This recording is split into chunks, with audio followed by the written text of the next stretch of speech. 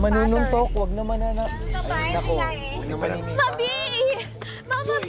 Saan ka ba nagpunta? Hinahanap kita eh. Nakita namin siya sa healing center ni Deborah. Hinahanap niya si Mira. Umalis Mira dahil sa kanila. Umalis siya.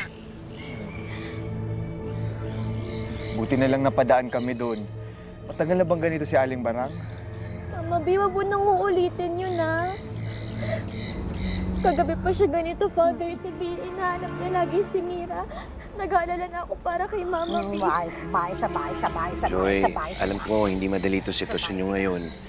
Eh, pati rin naman kami nangungulila sa pag-alis ni Mira eh. Pero huwag ka mag-alala, tutulungan ka namin. Sabay sila. Sabay sila. Oh. Sabay sila. Mama B, wag ka nang... Huwag mo palawakan! Huwag mo palawakan! Huwag mo Barang! palawakan! Barang, barang. Hanapin ko Mira! Huwag Barang. mo kong nawa ako! Barang, barang. Dito ka lang. Barang. na lang, napadaan dun sila Father Seb. Mama B, si ka lang. Wala nung umalis si Mira, ganito na si Mama B. Ah, Mira? Saan si Mira? Ha? Sabi mo tatawag si Mira? Hindi, hindi, hindi. Gusto ko naman kita. Ayaw ni Barang. Wala si Lucia. Wala na si Mira. Tara, tara, tara. Hindi ka punta na. Hindi, ay, ay, Mira. Mira. Pupuntahan ko si Mira. Saan siya? Dito ka lang. Punta ako kay Mira. Dito lang tayo, mahanap Sige. natin si Ayaw na ni Barang. Balikin na. Yan ah. Gusto ko na Barang ha. Sige na, Barang, pasok na. Dala. Ah, magandang araw po. Ang tao. Ano ho yung atin? Ah, nakatanggap po kasi kami ng bagong incident report tungkol sa kilos ni Aling Bara.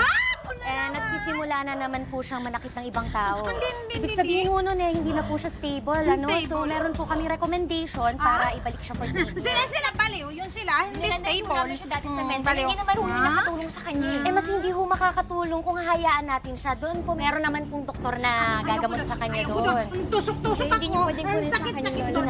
Ay, ma'am, ma'am, pwede naman, ma'am, Ano pwede naman ho natin pag-usapan.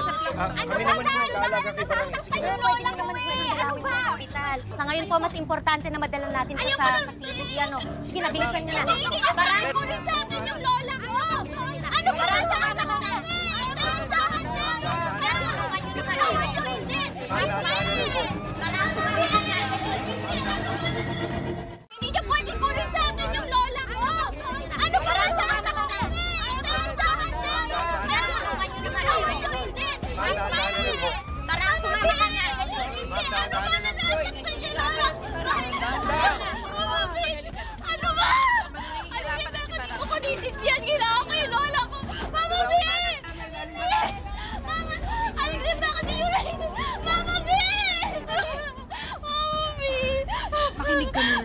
ha?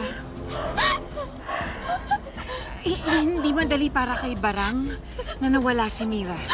Subukan muna natin ito. Kailangan niya na ng tulong eh. Kailangan niya ng espesyalista, Joy.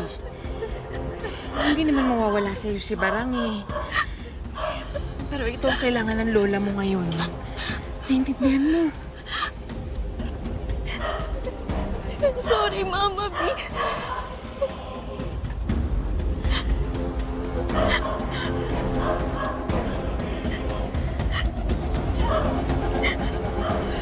Dadalawin natin siya.